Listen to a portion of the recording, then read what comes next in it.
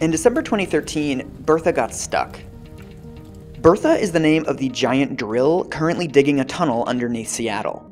Getting stuck is a big deal. Bertha can't go backwards, so engineers had to dig a hole 120 feet down, then drag Bertha's hatchet face up to the surface, fix it, then send it back down again. The process ended up taking two years.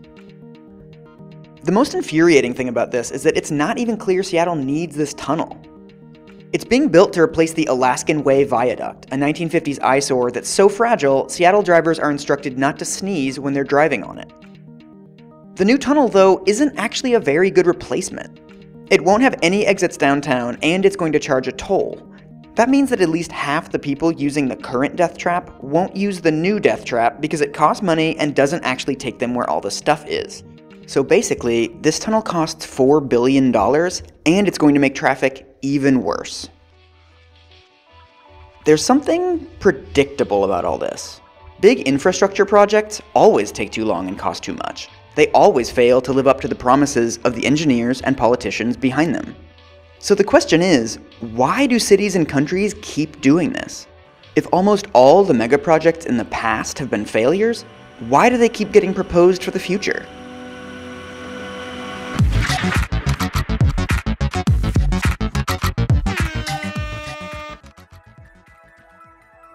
Let's face it, mega projects get attention. They're covered in the media, they leave a legacy, they create a big fat monument you can put your name on. And that's sort of the problem. Politicians don't want to build water pipes or update the sewer system or switch to a more efficient accounting standard. They want to get reelected. That means building things like stadiums and convention centers and fancy new bridges, even though in most cases, cities don't actually need that stuff. That's what happened in Seattle. In 2007, voters rejected a referendum to dig this tunnel. The option they wanted was improving the roads and putting hella buses on them. But then, in 2009, the governor stepped in.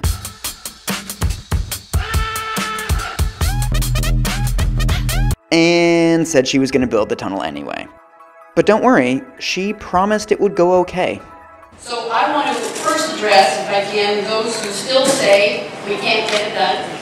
We can't get it done on time, and we can't get it on done on budget. I'm here to say, watch us. We're going to get it done. Are you fu- Architects and engineers have the same incentives as politicians. They want to build something iconic, something they can brag to their colleagues about. This is why these projects are never like a medium bridge or a standard skyscraper.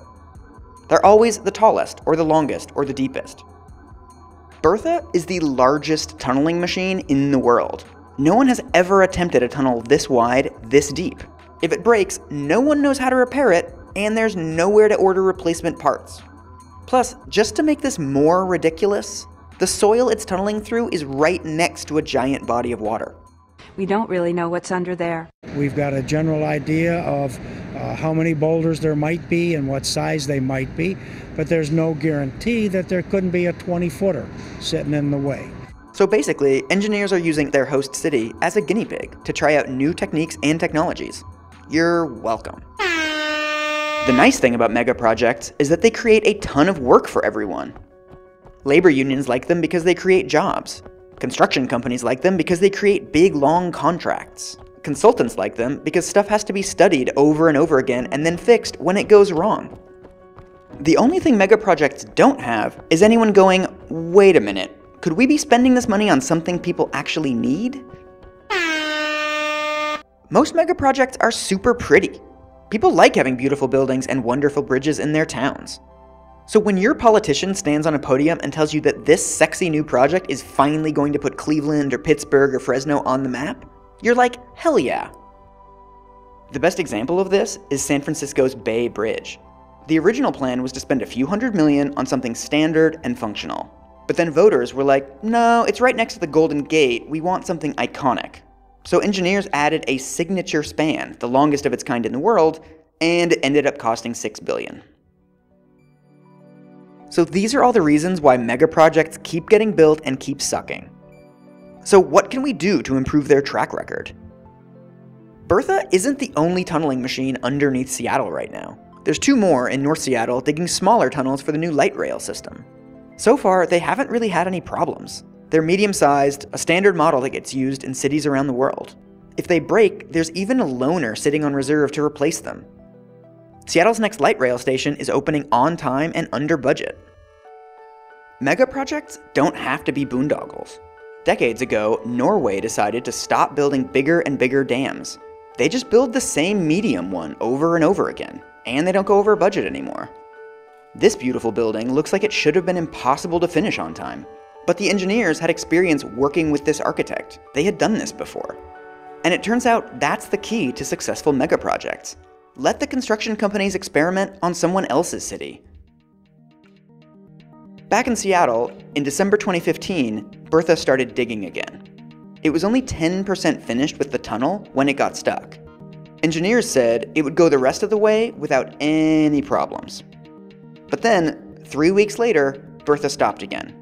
A sinkhole the size of a swimming pool opened up 100 feet behind the drill. The contractors say it's a coincidence, and the tunnel will still open in 2018. And you know, since they've never done anything like this before, and no one else has either, I'm sure we can trust them.